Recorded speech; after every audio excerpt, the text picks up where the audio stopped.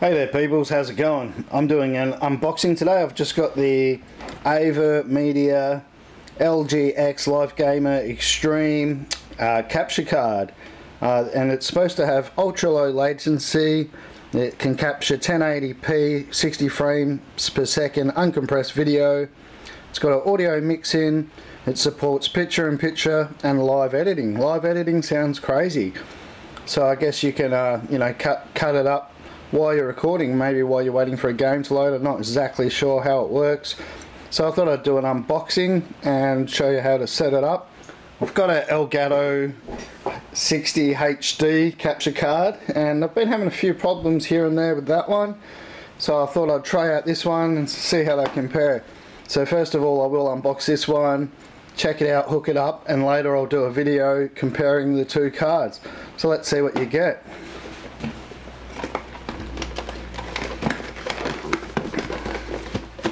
Some other features are you can stream by LGX with ultra low latency, also has high capacity third party software such as XSplit, OBS and etc. Also you can enjoy gameplay in the same TV with HDMI pass through.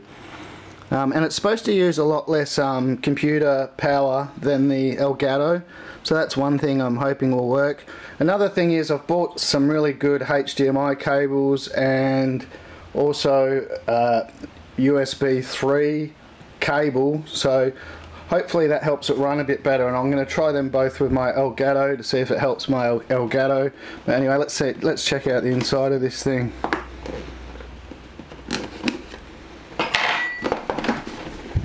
What do you get inside the box? Well here's the actual capture card. And it's got this cool thing where you can actually change the picture in the top of it so let's take off the top. So yeah, you get different designs and cards that you can put in the top here. I don't know how useful that is, but if you want your capture card to look cool, you can take this little frame off. Ooh, bugger. And you can uh, change the picture inside here. So I'll stick the uh, frame back on. Don't know if you really need the uh, frame, probably if anything's going to make it a bit hotter So as you can see it's got the HDMI in, HDMI out so you plug your Xbox or PlayStation or whatever into this side and then that side goes into your TV. You've got your USB um, 3 cable that goes to your computer. Now I'm not sure what this one is yet but I'll figure it out shortly. Also another thing is it's got a microphone jack and a audio in so you can plug in your own mic or plug in your iPod with tunes to get some background music. So that's something the Elgato doesn't have. So that's the capture card. What else do you get? Get a little LED info chart tells you what the different lights mean and when the disk is full. Don't know how it knows but it must check your computer and it's got different coloured lights for whether you're recording or streaming or for when it's ready.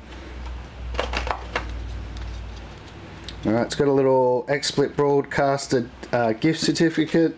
That'll probably give you like a free month or something on XSplit. Oh, you actually get three months uh, with this little card that comes inside. XSplit's supposed to be one of the best uh, uh, stream programs, so I'll check that out later inside here it looks like you got a bunch of cables. So you get an extra screw. Not sure what that's for. Maybe if a screw falls out. Oh this must go in that port that I didn't know. It looks like you can plug in all kinds of audio cables. I have to check out that. Uh, you get here's the USB 3 cable. It's quite a short one. I've bought a longer uh, USB 3 extension cable so it can go all the way to my PC but I might even hook it up to my laptop because it's not supposed to use as much hardware. Uh, you get a HDMI cable. This is a little audio extension cable so you can plug it into your iPod or your computer I guess. And this is the not sure what this one is either better check out the instructions Here's the instruction quick guide. tells you how to hook it all up. Don't know if you can see that that well. Get another card here. This one's all in Chinese so I'm not sure what that one says. Uh, here's your warranty card. Uh, info packet just tells you things about the warranty and limitations of liability and a bunch of other stuff. And that's all you get.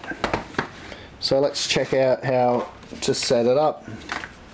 Okay so the instructions come in a number of different languages.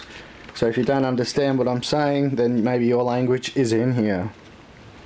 Okay so those cables that you get is a USB 3 cable a component cable PS3 cable. Oh, that's that cable in there that I didn't know. That plugs directly into your PS3.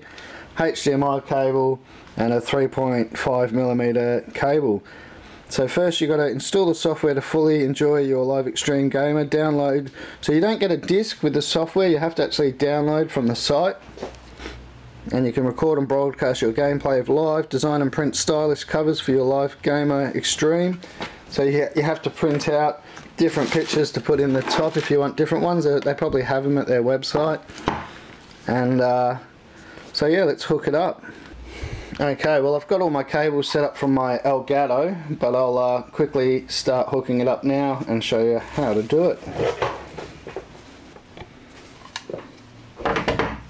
Okay, so I'm all ready to set it up. I've got my HDMI cable. This is coming directly out of my Xbox One.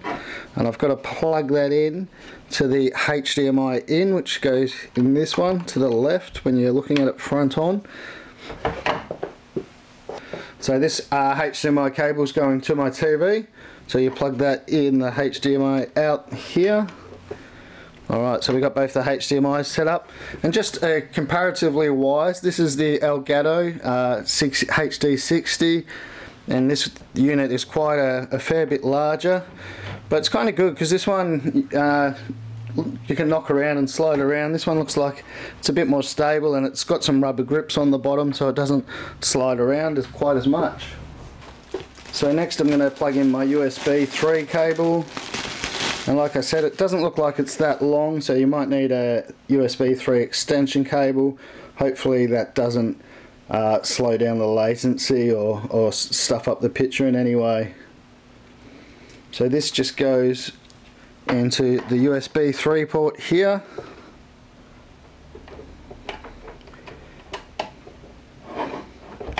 And this other port here I think is mainly if you want to plug a PS3 directly into it so I'm just going to plug this into my computer and then I'm going to download the software and I'll show you what that looks like. Okay, so I've just gone to the website that they told me to, which is qavamedia.com slash recentral2 and now I've got to pick which card I've got, which is this one, Live Gamer Extreme GC550. Okay, select your product series. Gaming, education, PC, TV, connectivity. So I want gaming, capture and stream, select your product, which I did so.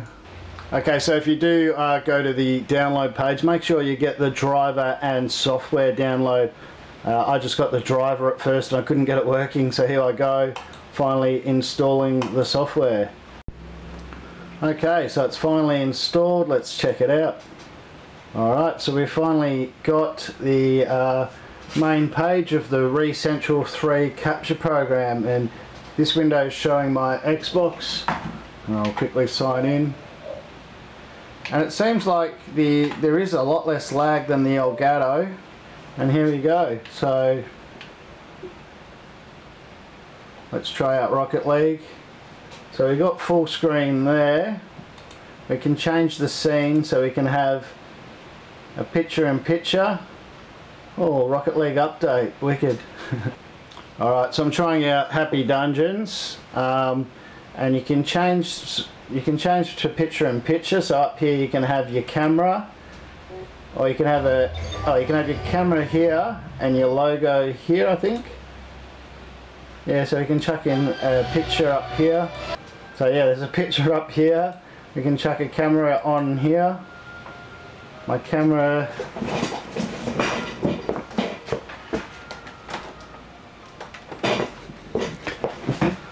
Hey, how's it going people? So there's the camera showing you how the camera works.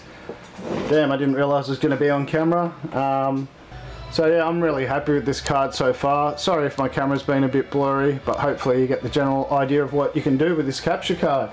So anyway, stay tuned for my com comparison video and catch you later peeps. Bye.